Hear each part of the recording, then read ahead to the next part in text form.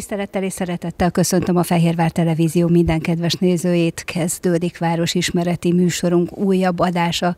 Az elmúlt három részben Székesfehérvár belvárosában jártunk, és ezeket a beszélgetéseket folytatjuk a következőkben is, és hol beszélgethetnénk a belvárosról máshol, mint magában a belváros szívében, a Városháza udvarán. Köszönjük szépen a helyszínt, és köszönöm szépen a vendégeknek is, hogy eljöttek ma is, és folytathatjuk ezt az igen tartalmas és roppant értékes beszélgetést. Sok mindent tudtunk meg eddig is, és ez így lesz a következőkben is. Erre garancia két vendégünk. Hagy mutassam be elsőként Igari Antal műelmékvédelmi szakmérnököt, a Fejér megyei főépítész. Köszönöm, hogy itt vagy. Köszönöm a lehetőséget. És műsorunk állandó szakértője Váci Márk történész, a Városkutató Intézet topográfiai munkatársa. Köszönöm én is, hogy ismét itt lehetek. Csodálatos volt az elmúlt három műsor, ezt így, így utólag már mondhatom, és biztos vagyok benne, hogy ez lesz a következő is. Egy kicsit zavarban vagyok, mert azzal szoktuk kezdeni a műsort, hogy összefoglaljuk az előzőt. Ez most már kitölteni a következő műsorórát, de hát úgy nagyjából el tudjuk mondani, hogy meddig jutottunk el. Hát igazából, hogyha a városnak a történelmét vesszük figyelembe, akkor nagyjából a 19. század második felénél zártuk a történetet. Egy-két vonatkozás miatt majd azért még vissza fogunk ide térni, de azért az elkövetkezendő adásban, illetve adásokban, ezt lehet így mondani előre, hiszen a múltkor is nagyon jót beszélgettünk itt ugye több adáson keresztül, a 20. századról lesz elsősorban szó. Ez a Székesfehérváron teljesen mindegy, hogy melyik századról beszélünk, itt ott, ott mindig vissza kell lépni egy kicsit a történelemben, hiszen ősi városról beszélgetünk. Kezdjük is mindjárt a következő bemutatni való létesítménnyel? Azt hiszem, hogy vágjunk is bele. bele. Vágjunk is bele. Azt már most előre mondom a tévénézőknek, hogy ne várják, hogy most kronológiai sorrendben haladunk, vagy ne várják, hogy utcáról utcára haladunk. Egy kicsit, ahogy az előző műsorban is mondtam, a féle saklépésekben mutatjuk be az épületeket, de annál értékesebben. Most kezdjük akkor a török kúttal, amely a Barátok temploma városháza felé néző falán látható. Mit tudunk erről a kútról? Sakról? Hát ahogy említetted te is, itt az elején tényleg vissza kell ugranunk néha a történelemben, és én mondjuk nem értek a sakhoz, de valószínűleg ilyen lépés nem létezik, amiben mi haladunk itt folyamatosan. Ez egy új kombináció. A Barátok templomáról, Szent Imre templomról ugye már korábban beszéltünk, magának a templomnak az építéséről, díszítményeiről, Szent Imre herceg feltételezett szülőhelyeként is ugye szóba hoztuk.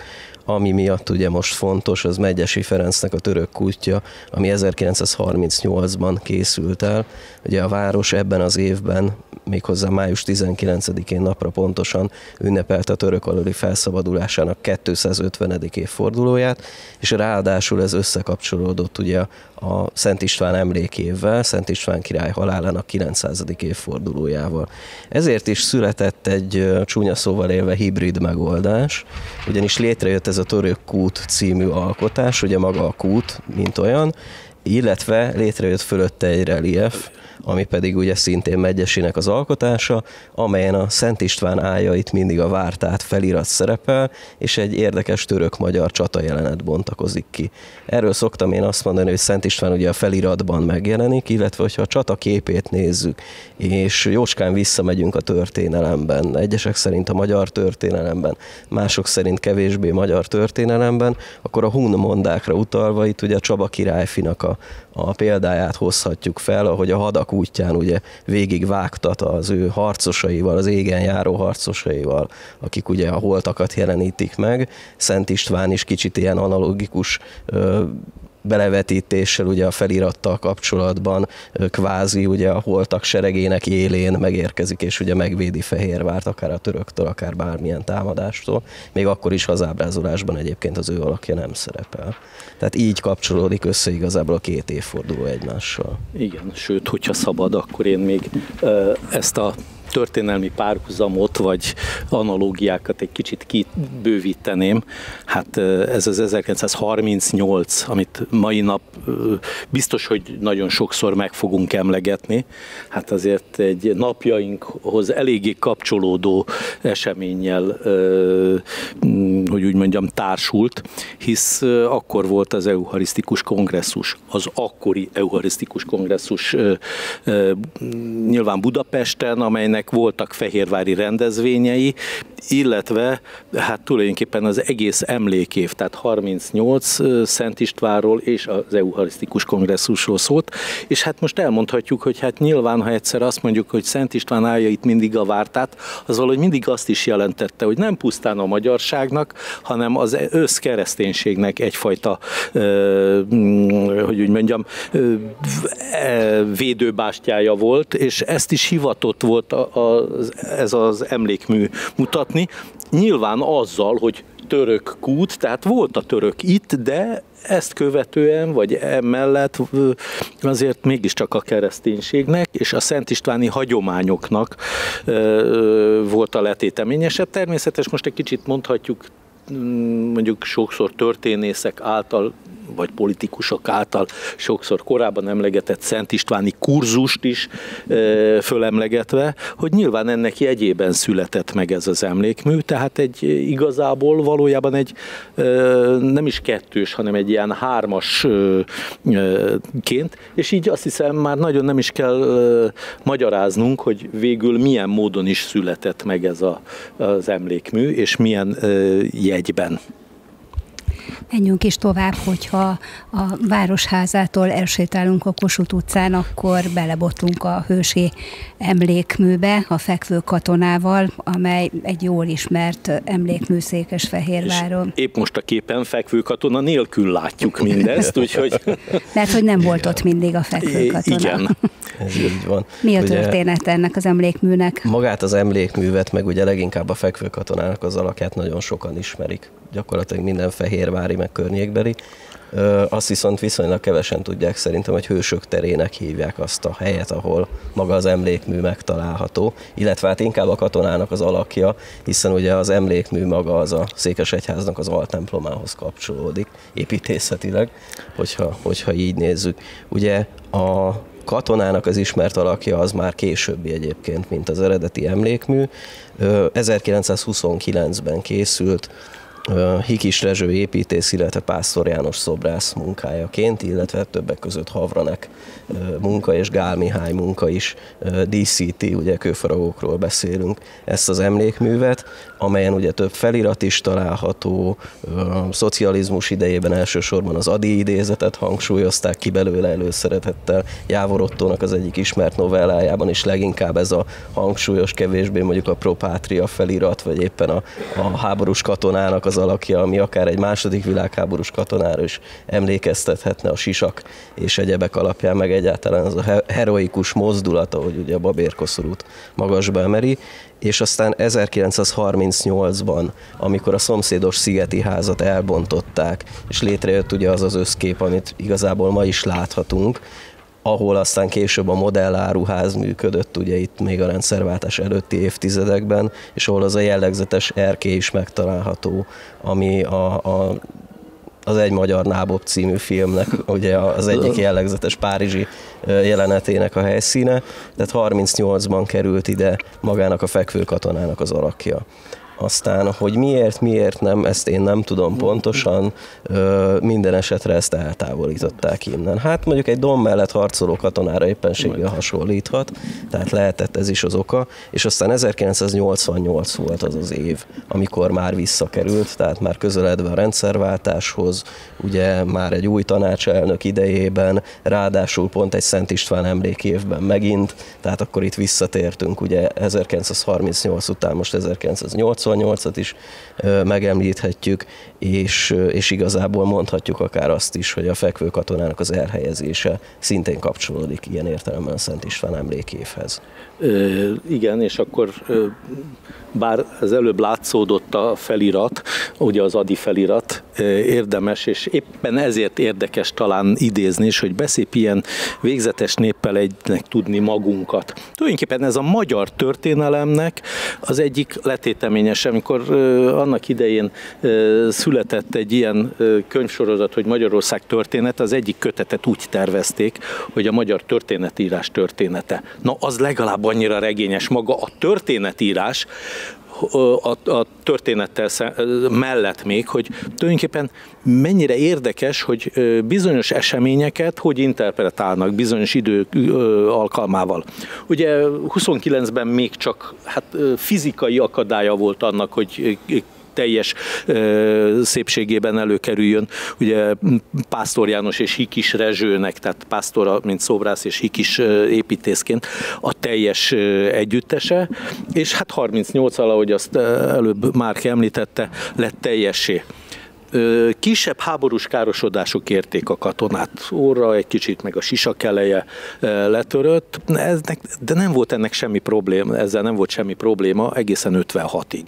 56-ban ugye itt volt az egyik nagygyűlés, itt volt a keresztállítás is, és nyilván volt egy olyan kettős, hogyan is mondjam, a történetben, hogy hát ugye 56-ra nem lehetett emlékezni, mert hát mert nem lehetett. De a fekvő katona a halottak napja, illetve a Székes Egyháznak az altemplomát akkor szokták megnyitni egyébként, halottak napja, illetve húsvét, tehát pontosabban nagybőjt, nagy hét, nagy péntek alkalmával.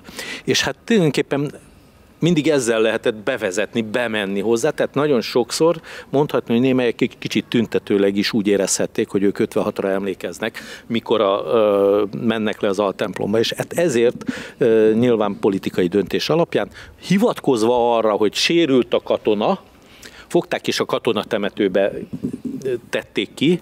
Na most ez egészen ugye 88-ig, illetve hát bocsánat, előtte már voltak kezdeményezések, és a jelenlegi Városvédő Egyesület elnöke, ugye Poklosi Péter tanár úr volt az, aki hát ugye igen csak szívén viselte ezt az egész dolgot, és hát akkor még finoman megüzenték neki sajtón keresztül is, hogy tudjuk honnan fúj a szél, hogyha valaki ezt vissza akarja hozni, hát tulajdonképpen meg volt, hogy hát mindenféle ilyen fasiszta jelképpen nem kéne talán előhozakodni, na de hát ahogy azt már Márk mondta, az egyik nagy mond, és mondhatni, hogy a rendszerváltás első tárgyasult emléke az volt, mikor a fekvőkatona visszakerülhetett, nagy állami és díszes ünnepség keretén belül, belül köztársasági őrezred, dísz egysége, és a többi, és a többi. Tehát ez, ez most már inkább csak a, mondom, a történetírás történetéhez kapcsolódik.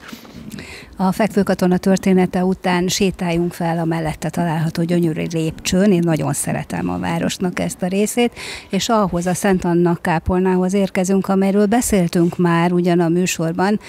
Volt már róla több információnk is, de most a mellette álló szoborról kérünk néhány érdekes információt, ez pedig a Kálmán Csehi Domonkos szobor.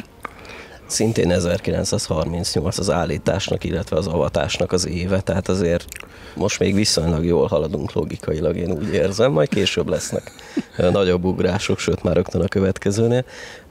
Ugye beszéltünk a Szent Anna kápolnáról még talán az első belvárosi adás során, és akkor ugye Tóni is elmondta, hogy hát bizony ez a Szent Anna kápolna, nem az a Szent Anna kápolna, de mégiscsak ez a neve, és ugye említettük a Hentel nevet többek között, meg Kálmán Domonkosnak a neve is szóba került, és hát minő érdekesség, hogy Óman Béla azt a Szent Anna kápolnát mintázta meg ugye Kálmán Domonkos lábánál, amit ugye ekkor már lehetett látni, hiszen 34-ben ugye Möller István szakszerű helyreállítása és tervei alapján ugye a későbbi előépítményt azt elbontották, tehát már a, a kápolnának az akkori állapotát ábrázolja ez a kis alkotás, ugye Kálmán Csehinek a lábánál, mintha ő alapította volna ezt a Szent Anna kápolnát. Lehet, én erre azt szoktam mondani városnézések során, lehet, hogy akkoriban még ez volt a történelmi tudatban, de azt mára már biztosan tudjuk, hogy a kettőnek igazából sok köze nincsen egymáshoz.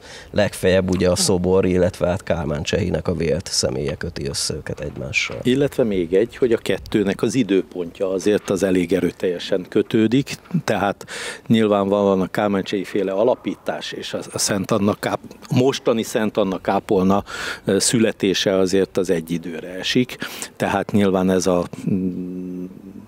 ebben tényleg közösek. És akkor talán magáról, ugye a, a szoborról egy röviden, hogy az a Ómanra, Óman Bélára, ugye az alkotóra olyannyira jellemző, ez az tömör, egybeszabott, szinte alig egy tömbből kifaragott figura, és ő azért dolgozott kőből valójában, tehát ő, én nem tudom, hogy bronzban mennyire foglalko- dolgozott ő, hanem egy tömbből fejtette le a fölösleget, ahogy annak idején mondták, és hát valamennyi alkotása, legalábbis ami Fehérváron, és elég sűrűn, hogy úgy mondjam, foglalkoztatott művész volt, hisz a Városháza közgyűlési termében két szobor szintén ő hozzá, tehát Szent István és Árpád fejedelemnek a szobra kötődik a nevéhez, illetve egy kicsit más jellegű, tehát a fehérvári jog vagy az országalma szintén az ő alkotása.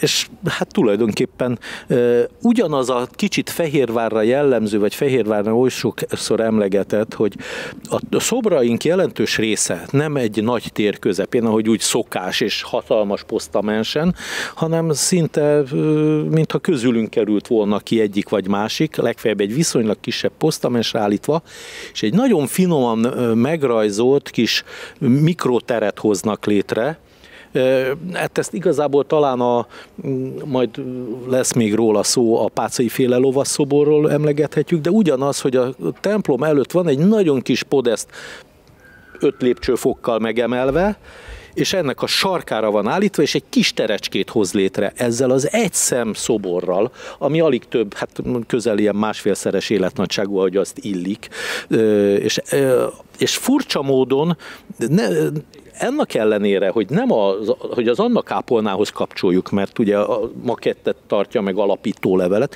és mégis a Székes Egyháza néz fel, tehát gyakorlatilag egy ilyen kinéz a térből, és mégis a térnek az al- alkotó elemévé válik, úgyhogy ez, ez egy külön, hogy úgy mondjam, egy plusz értéke ennek a szobornak ha már szóba hoztad Ómannak az egyéb műveit, akkor beszéljünk egy olyanról is, tényleg csak nagyon röviden, pár szóban, amit nem fogunk most megmutatni, hiszen a Várkörutat azt milyen egy ilyen Jolly Jokerként kezelve, ugye hol a vízi városhoz, hol a belvároshoz soroljuk, de a Várkörút is Midville az nagyon érdekes ebből a szempontból, hogy ugye a Szent József a gyermek Jézussal ábrázolása, amin ugye szintén megjelenik elvileg a Jeruzsálemi ház, de gyakorlatilag lehetne akár maga a villa épülete is, az ami, az, az épület, ami megjelenik a, az ő lábuknál. Minden esetre ez is egy olyan szobor, ami mintha szerves része lenne ennek a háznak. Tehát mintha homlokzatból lépne igazából elő, és, és egyfajta kidomborítása lenne. Tehát mintha nem is szoborként, hanem, hanem egyfajta domborműként működne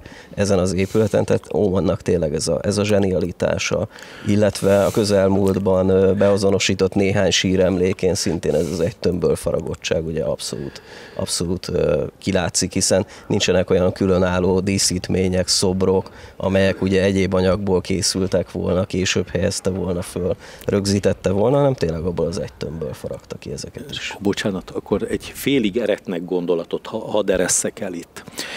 Mintha napjaink közkedvelt zsáner szobrainak egyfajta előképe lenne, ugyanis ez ugye van vannak, akik elnézést, majd meg őrülnek érte, mert hogy ez az igaz, mert mindenki magához közelinek érzi, és jó néhányat tudunk majd a városban is elmondani, meg ismerős, meg környező országokban, tehát Pozsonyban jelent meg nagyon sok hirtelen, de az, amit úgy szeretnek, úgy mellé ülnek, megsimogatják, fölfényezik, és akkor már szerintem néhányan már tudják, hogy mit lehet -e ebbe a kategóriába Fehérváron emlegetni, de gyakorlatilag ezek szinte azok, még akkor is, hogyha egy, egy nagy prépost azért azt, azt nem szokás simogatni, de azért mégiscsak úgy állott valahogy ebben a kis sarokban.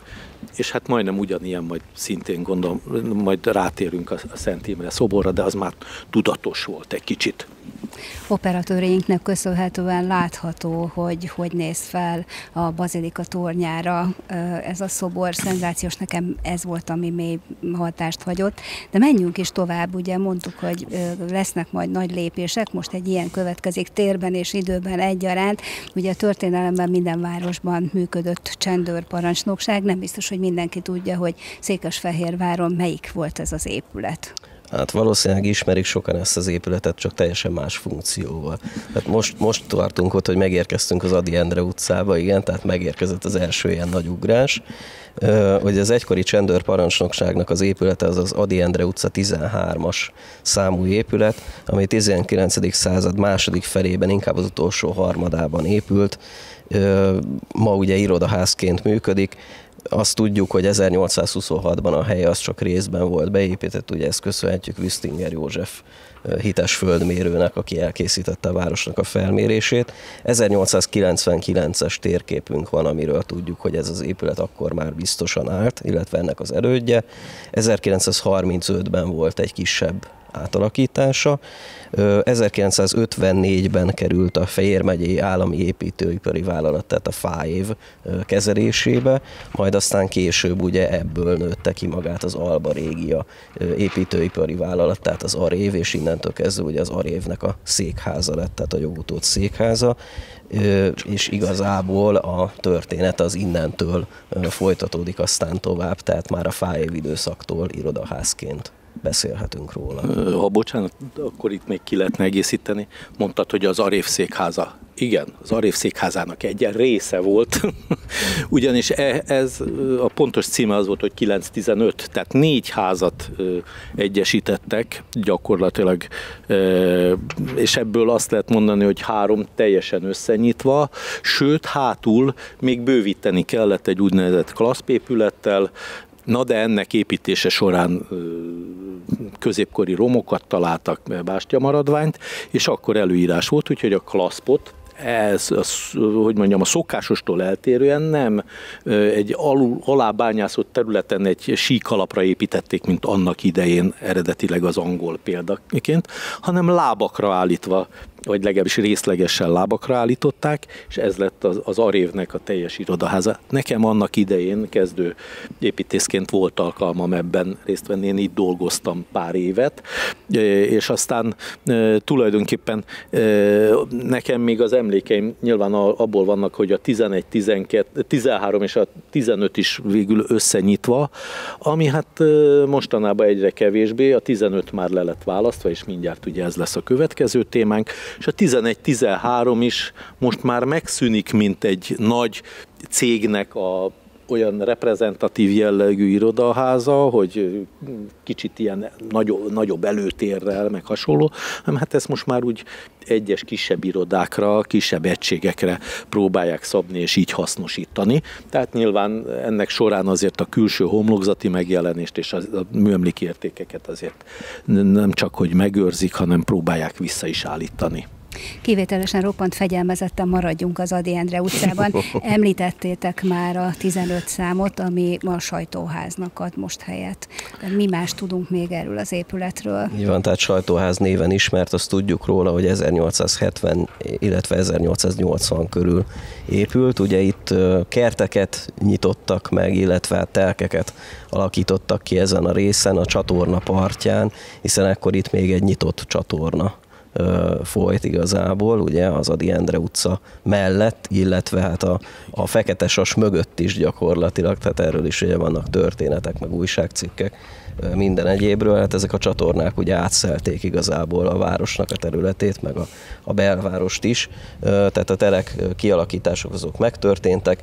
1930-ban és 1941-ben voltak itt többek között lakás átalakítások, és ugye érdekes díszítménye a, a, a női fejes vakolat díszeknek a sora, amit igazából megfigyelhetünk rajta, tehát ez adja egy kicsit az egyediségét mondjuk ennek a, a homlokzatnak, illetve ami még nagyon lényeges és nagyon fontos, az pedig az, hogy 2019. október 23-án itt egy emléktáblát avattak fel, méghozzá Skorka Károly az 1956-os Újfehérvár főszerkesztőjének az emlékére, hát méltán a sajtóházhoz, ugye az 56-os fehérvári sajtó egyik legjelesebb képviselőjéről van szó, tehát nem véletlenül került ugye ennek az épületnek a homlokzatára az az emléktábla, és hát reméljük, hogy a mögötte lévő intézményben is azért ebben a szellemben folyik tovább a munka.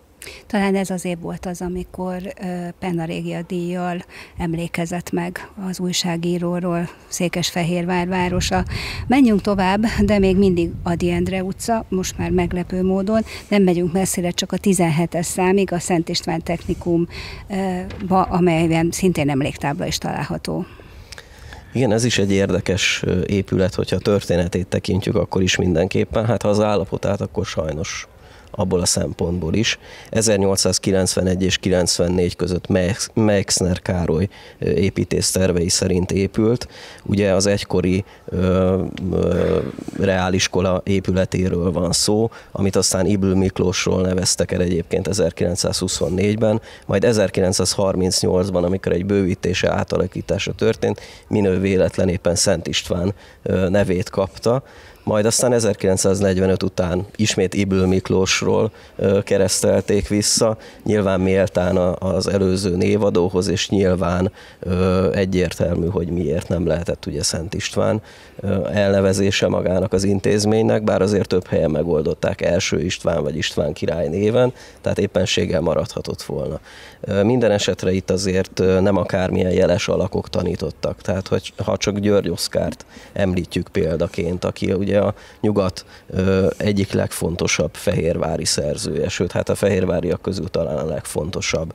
Baudelaire-nek az első magyarországi fordítója, francia műfordító, irodalmár ember, maga is rengeteg verset, illetve prózát írt, ugye a holokauszt egyik székesfehérvári áldozata. Aztán említhetjük akár Szabó Dezsőt is, aki egy rövid és meglehetősen dicstelen időszakot töltött a városban ebben az időszakban, amikor itt tanított, és ugye többek között György Oszkárral, illetve a szótáríró Kelemen Bélával voltak különböző konfliktusai. Ráadásul azt is tudjuk, hogy párbajozott Székesfehérváron ebben a rövid időben, amíg itt tartózkodott. Hát nem volt egy könnyű, könnyű eset, és nem volt egy olyan nagyon higgadt ember, úgyhogy tőle ez nem olyan nagyon szokatlan. Aztán hát a híres tanítványok közül Széchenyi Zsigmondot mindenképpen kiemelhetjük, aki ugye vadászíróként lett híres, ugye az egykori kétszeres megyei főispánnak Széchenyi Viktornak a fiáról van szó, aki, akinek az emlékezetét egyébként ma is őrzi az iskola, illetve egy nagyon fontos alkotás még ugye az úgynevezett diák emlékmű, amit nagyon sokszor Petőfinek néznek, holott egy első világháborús emlékműről van szó alapvetően. Nyilván a heroikus pózból, meg az arcból adódhat az is, hogy egyfajta Petőfi imitáció akarna lenni, de hát nyilván Bori Jenő, amikor elkészítette az emlékművet, nem feltétlenül erre koncentrált, minden esetre itt a nagy háborúban elhunyt diákoknak az emlékét örökíti meg az emlékmű, illetve mellette elhelyezett emléktábla, amit aztán már jóval később a második világháborús áldozatoknak a neveivel egészítettek ki. Tóni, hozzáfűzni valót? Hát szerintem ezúttal, ez most ezúttal Márk, még... Márk szerintem elég becsülettel kitárgyalta ezt a témát. Úgyhogy, a következő épületről biztos lesz mondani valód neked is. Egy gyönyörű épület, egy gyönyörű téren, nem messze az Adi Endre utcától. Talán a Bartók Béla tér az körülötte lévő épületeknek is köszönheti szépségét, illetve az elmúlt időszakban megújult, nagyon meghatározó tér lett a belvárosban, de nem a térről fogunk most beszélni, hanem a Vörös Marti Mihály könyvtár és Csókistán képtárról. Illetve hát azért magáról a Bartok térről néhány szó ez sem mindenképpen. Ugye ö, tényleg ilyen érdekes lépésekben haladunk, vagy kanyargunk, nem is tudom, visszakanyarodunk 38-hoz. A 30-as évek második felében jött létre maga a tér, ugye 11. Incepápa tér, vagy inkább Incepápa tér néven volt ismert, és hivatalosan ö, ugye a török török elleni küzdelem egyik legfontosabb egyházi szószólója és propagátora igazából európai tehát, szinten. Te, tehát az 1688-ról, tehát a török aloli felszabadulásról beszélünk, akkor, amikor őt emlegetjük ezzel. Így van, és ugye az Oskol, mai Oskola utca, illetve a Jókai utca között húzódó ház sort bontották el igazából, illetve annak egy részét azért, hogy ez a tér kialakulhasson, létrejöhessen és nem akármilyen épület, épületet húztak fel itt, ugye az egykori Horti Miklós kultúrháznak az épületét, amiből aztán már jóval később, tehát már a háború után lett egyrészt ugye egy képtár, ami ugye egyébként korábban maga a Kultúrház a Banovák Vilmos francia-magyar kapcsolatok című pannójának adott helyet, és amiből aztán már 2000-es évek elején is elég nagy sajtópolémia volt. Hál' Istennek többek között szakemberek is részt vettek ebben a polémiában, tehát nem csak újságírók, de művészettörténészek is megszólaltak tehát azért tényleg egy kicsit, a, a, a, bár a vita hevében nyilatkoztak nagyon sokszor ők is, hogy vissza kéne kerülni a pannónak, nem kéne visszakerülnie, eltakarták, nem takarták el, méltó helyen van, nincsen, stb.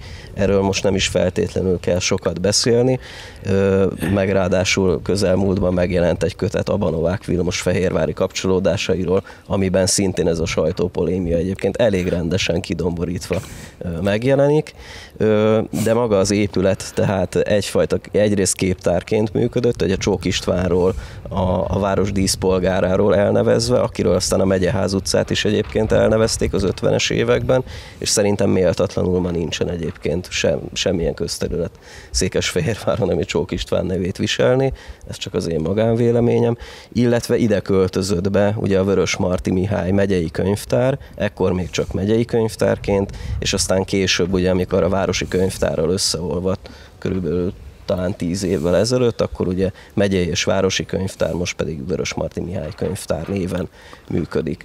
Az épületnek a díszítéséből ugye hát a kultúrház felirat az megmaradt, nyilván a névadónak a nevét azt ugye értelemszerűen leszették, a kettős címer megmaradt, a, a gyönyörű árkádos előépítmény, illetve a folyosó az megmaradt. Ugye elhelyezésre került itt egy zsánerszobor, amit ugye Tóni is említett, Kornis Gyola kultúrpolitikusnak a szobra, ez már egy jóval későbbi termék. Én általában ezeket termékeknek szoktam nevezni, még akkor is, ha műalkotásokról van szó de mindenképpen érdemes megemlíteni a mozaik burkolatot, ami már ugye eredetileg is díszítette az épületet, illetve a krónikások szobrait, amelyeket ugyan Jálics Ernő elkészített, de már a háborús időszakban az avatásukra én, ahogy legalábbis tudom a szakirodalomból, nem volt idő, és ezek részben meg is sérültek, úgyhogy Metkiödön alkotásaiként kerültek ezek végül is felállításra már a 60-as évek elején, és azóta díszítik ugye magát az épületet, illetve Bori Jenő készített másodmagával egy Ibl Miklós bronz dombor művet, ami pedig ugye a Jókai utca felüli homlokzaton található meg akkor ha szabad most az építész hadd szóljon. Bár ugye Bori Jenőnél már emlegettél építészt, még akkor is, hogyha nem az építész oldalát, hanem a szobrász oldalát említetted, és akkor ha szabadna ez a másod magával, azért hadd mondjam azt, hogy itt legalább annyira Lőte Éva, aki Lőte Attila nagynénye volt történetesen. Ő volt a az igazi alkotó, tehát ő, az Ibli emlékműnél. Érdekességként azért elmondhatjuk, hogy a szülőváros már azért elég szépen adózott a egykori nagyfiának, ugyanis már, már három köztéri alkotás örökíti meg, a, és szerintem részben azért is született talán a harmadik is, mert kevésbé volt ismert az első vagy a második. Ugye az első ez, ami meg a 30-as években tulajdonképpen készült, aztán a 60-as évek elején az Ibli lakótelepen került elhelyezésre egy Ibli alkot, Ibli itt mutató szobor, szobor, és hát egy egész alakos figura, pedig ugye a születési, tehát 2014-es évfordulót követően nem sokkal lett a Zicsi ligetben felállítva. És akkor most ugye említetted Csók Istvánt, hogy hát valóban közterület most már nem őrzi a nevét, mert ugye visszakapta a régi, hát ha nem is Vármegye, de Megyeház utca nevet, de hát a Csók István kép, tehát intézmény azért őrzi a nevet. És akkor még akkor a, ténylegesen az építészekről. Schmidl Ferenc volt a kultúrház tervezője, ugye ez is a szokásos 38-as időszakban, bár egy kicsit később készült el. Ő egyébként a városi főépítész volt a Csitári éra alatt, ha így szabad mondani, és hát legfőbb fegyverhordozója, ha szabad így mondani, ugye mi négyen építészek, hogy szokták emlegetni magukat, de hát Molnár Tibor volt az, aki később is városi alkalmazott volt, illetve városi főmérnök, aki a már emlegetett funkcióváltásnak a terveit, tehát hogy ö, ö, ugye könyvtár lett belőle, a kultúrházból könyvtár, illetve hát tulajdonképpen az a bemutató terem, ami hát napjainkig is van. Ezért is van talán ez a kettősség benne, hogy ugye úgy lehet bemenni a könyvtárba, hogy lényegében egy múzeumon keresztül, egy bemutató csarnokon, egy galérián keresztül, de így legalább azt lehet mondani, hogy azok is részesülnek benne, akik talán nem látogatnák meg. Úgyhogy végül ez a kicsit kettőssége a javára szolgál az épületnek. Schmidt Ferenc nevét halljuk, majd biztos vagyok benne több épületnél is, hiszen igen sokat alkotott pont azért, mert az az időszak, amikor 1930 és 38 Hát az elő, előbb emlegette már, csak név nélkül. Az a villaépület, ahol ugye a Szent hát József szobor, Bár csak igen, a családnevet mondtam. Igen, tehát, igen. A, a, tehát a, a Szent igen, József a... szobor van, és hát a párja, akkor nem tudom, hogy most szabad-e, hát tényleg jó barátok is voltak Molnár Tiborral. És szomszédok. Hát, és, és szomszédok egy köztes lukkal, igen. hogy így mondjam.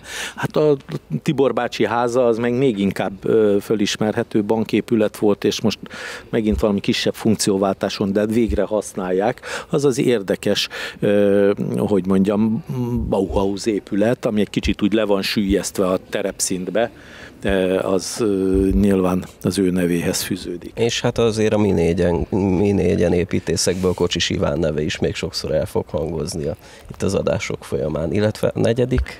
Hát az pedig Göde. Göde. Hát az pedig egy fehérvári építész, építőipari generáció talán megalapítója volt, aki többnyire, bár építészmérnök volt ő maga is, de ő az útügyekkel foglalkozott. Érdekes módon Csitári idején akkor épültek ki a, a, a burkolt utak, és hát a díszburkolatok egy jelentős része. Egy kisebb térre érkezünk meg a következő épület kapcsán, de ez a tér is átöltözött, új ruhát kapott, megújult néhány évvel ezelőtt, és azóta ékessége a belvárosnak, az országzászló térre gondolok, és egy, egy épületre, ami a tér és a Bástya utca kettő alatt található, tehát a sarkon található. Vissza fogunk még térni természetesen ide. Pordán Ferencnek a nevét mindenképpen ki kell emelni, mint ugye tervező, illetve Forró István, mint statikus tervező, tehát a kettők nevéhez kötődik ugye az épületnek a tervezése. 1991-92-ben készült el, ez egy foghíj beépítés egyébként. Ez azt jelenti, hogy ez egy második világháborús foghíj telek, az 50-es években keletkezett igazából maga a bontások során, és aztán a 70-es vagy talán a 80-as évekből van egy érdekes fotó, amit galád módon most nem hoztam el, de érdemes megmutatni majd későbbi alkalommal egy város címer található ezen a téren, és ugye mögötte lévő épületek pedig nagyon jól látszanak. Nekem ez nagyon sokáig tartott, mire sikerült beazonosítani, hogy hát nyilván nem, a, nem az egykori országzászló térről van szó, és akkor nézegettem, nézegettem, aha, jó, tehát akkor ez lesz az, meg hát némi, némi szakértői segítséget is az igénybe kellett venni hozzá. A másik érdekessége ugye ennek a, ennek a a területnek, az pedig az, hogy ugye az országzászló tér felőli falon 1996-ban, tehát most már 25 évvel ezelőtt helyezték el az egykori királyi várat ábrázoló emléktáblát, ami Szohácki Attila művésznek az alkotása, tehát ezt is érdemes megszemlélni, amikor valaki erre jár, és ugye a középkor és a modern kor az igazából ebben az épületben és a rajta elhelyezett emléktáblában találkozik. Akkor, ha szabadna, azért mégiscsak a térről pár szót szabad, ugye? Hogyne? Bár majd visszatérünk ide, de persze. Jó, akkor most csak nagyon-nagyon előjáróban. Ugye a... Mostani adásban már valószínűleg nem fog szóba kerülni. Jó, tehát akkor ugye annak is megvan a maga története, hogy hogy lesz először tér, félig tér, aztán az utcák följönnek, majd aztán eltűnik az épület, a részben háborús pusztítás okán nem csak ez a saroképület, hanem a, ami tulajdonképpen lehetővé tette, hogy ugye a majd az országzászló mögötti tér is kiürüljön, és akkor visszatérve a bank épületéhez, ugye régészeti feltárások folytak kötelező jelleggel, hisz itt volt a belváros északi része, és oly sokat emlegetett. Talán, és ezen most nyilván lehet vitatkozni, hogy ez volt az utolsó, mondhatni, Mencsvár része, vagy hát az a utolsó védmű, vagy egy külön megerősített bástya része, ezt nyilván minden további nélkül említhetjük. A régészeti feltárás megtörtént, részben találtak dolgokat, de az volt, hogy lent dokumentálták, és hát gyakorlatilag a banki trezor része, meg hasonló valami fajta bemutatása van csak, tehát közvetlenül nem látszódik. De, és akkor itt jön a Pordán Horváth bocsánat, Ferivel én hadd nevezzem így, bár Feri bátyám, az első olyan építészek, akik a kezdeti időben, hogy úgy mondjam, valamilyen módon, baráti módon befogadtak az építészek közé. Az első lépéseknél az egyik segítségem volt valamilyen módon, és később meg úgy érzem, egy picit talán én is visszaadhattam. Ezen kapcsán, mikor egyrészt az rövid életrajzát a Mérnökök Fehér megyében című kiadványban tudtam összefoglalni. Másrészt, vagy pontosabban ez, ami az ő életében is, pont ezen épületnél, építési hatósági emberként műemlékes kolléganővel hatalmas vitáink voltak. Már így ilyen köztes állapotban egyrészt Feri hozta a tervet, másik oldalról meg jött, a, hogy hát ezt talán nem kéne ide, mi az, hogy történelem hamisítás, hogy torony van rajta, és, és, és, és. Hát a végén tulajdonképpen megegyeztünk, hogy ezt a tornyot nevezzük sarokerkének, és innentől kezdve egy picit visszahoztuk azt a sarokerkélyes dolgot. Azt az igazi fehérvári jellegzetességet. Ez Bordán Ferinek az alkotása, de gyakorlatilag gyakorlatilag hát így azért sikerült elfogadtatni, és azt hiszem a nagy közönség számára tényleg elfogadható nyilván az épület. Sok minden mellett azt is szeretem ebben a műsorban, hogy kapunk egy kis képet arról, hogy vajon hogy dolgozik a történész, illetve az építész egy-egy archívfotóról és egy-egy archív tervről, mi mindent tudtok meg, amit az egyszerű halandó biztos nem, úgyhogy ez élvezet hallgatni. Azt hiszem, hogy még van egy épület, amit említenünk kell, itt már láthatunk archív felvételeket is, a főutca 7 számhoz érkezünk meg. Picit azért van egyfajta logikája folytatásnak, hiszen megint csak egy banképületről van szó. Nagyon röviden tényleg visszatérve csak egy pillanatra az országzászló térhez, a legutóbbi Pordán Ferenc életmű kiállítás az itt volt egyébként az országzászló téren, most már két éve talán, és, és hát itt került bemutatásra az egyik tablon, többek között a banképület is. Na de akkor beszéljünk erről a főutcai épületről, ami ma is banképületként működik. Ugye ez a főutca hetes szám, a volt kereskedelmi banknak a, az épülete, amelyet ugye eredetileg Saj Ferenc tervezett valamikor a 19.-20. század fordulóján, eredetileg szecessziós díszítményekkel, ahogy ugye látható volt ez a, az épületnek a homlokzatán az archív fotón, és ugye nagyon érdekes itt ilyen városnéző séták meg előadások alkalmával mindig megszoktam kérdezni a résztvevőket, hogy mit gondolnak, vajon mikor történhetett meg a homlokzatnak az átalakítása.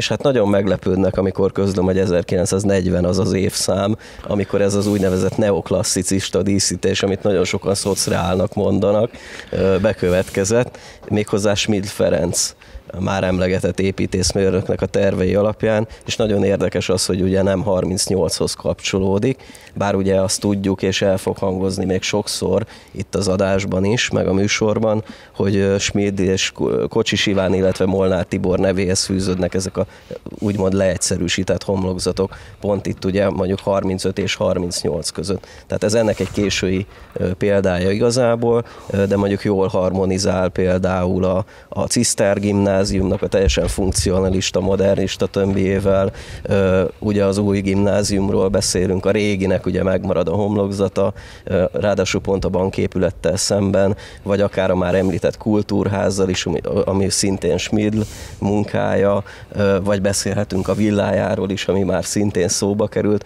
Tehát ezek ilyen nagyon érdekes harmóniát alkotnak igazából így együtt, de, de az is nagyon különös, ugye, hogyha ezt azt vesszük, hogy igazából az ezt megelőző körülbelül 40 évben ugye teljesen más volt a homlokzata, és nyilván az utcának a karakterét is azért ez nagyban befolyásolta, és nyilván ez a befolyásoló tényező hatás ez megmaradt 40 után is.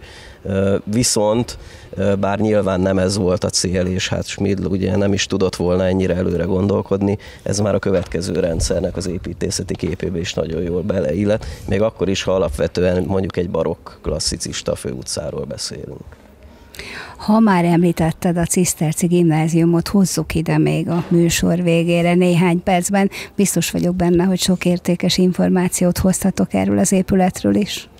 Tóni, nem maradt benned semmi itt a főutcaiban képülettel kapcsolatban? Nem, tekintetedből láttam. Nem, mosolyogtam ezen a, a kezdet, hogy barokk városkép, de hát aztán ugye klasszicista, mindig ugye a barokk városra azért olyankor jön, hogy persze, az, na, ilyen, ilyen egy szóval elintézik, hogy Fehérvár barokk belvárosa. Hát a barokk jó esetben a templomok, meg a egyik másik de még a közép, bocs, hát talán lehet mondani a püspöki palotára, aztán a többieknél már ugye kicsit kevésbé, mert valóban ez már átcsap egy kicsit részben klasszicizmusba, eklektikába.